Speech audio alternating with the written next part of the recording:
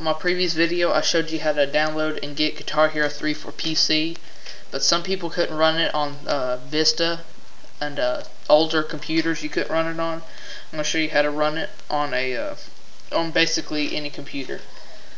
First, uh, and you have to watch my previous videos and get uh, Daemon Tools Lite, which is right here. And you had to get uTorrent and download everything. Once you have and it's not running properly, you got to go to Google, type in 3D Analyzer, right like that. And it, when you download it, it should be in a folder. We put it in a folder, makes it more convenient. Open the folder, should bring you to this. Double click here.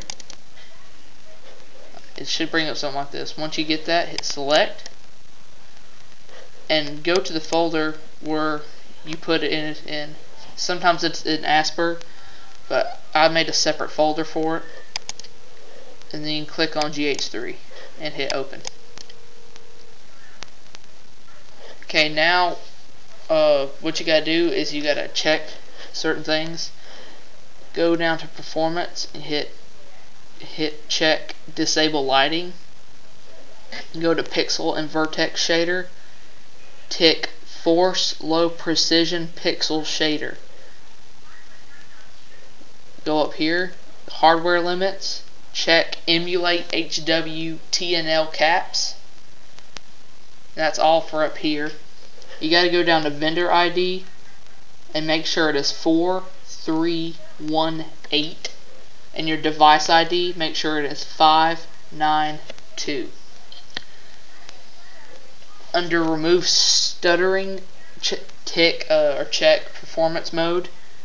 And that's it if you have the disc and you bought Guitar Hero 3 and you hit run it, should run no problem.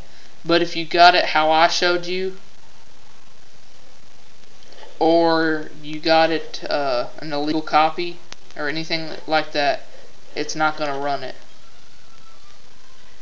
Oh crap. Well shouldn't hold on. Let me get out of this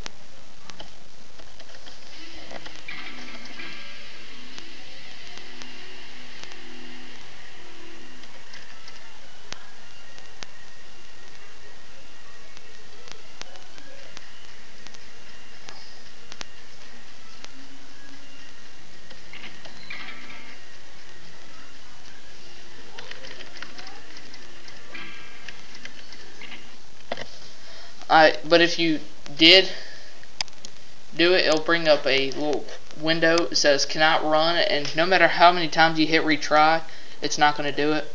So what you have to do is you got to exit this, go to your Daemon Tools Lite down here, and make sure it's green if it's not. Go to emulation, turn all options on. Make sure that is on. Then left click it, hit it'll hit device 0 see documents and wherever you saved it at. And you click on that and it will open it up properly. Sometimes you have to do on every one but if you save it and everything you can just open it up with a little window right here. Well I hope that cleared things up for some people. Uh, that's it for now.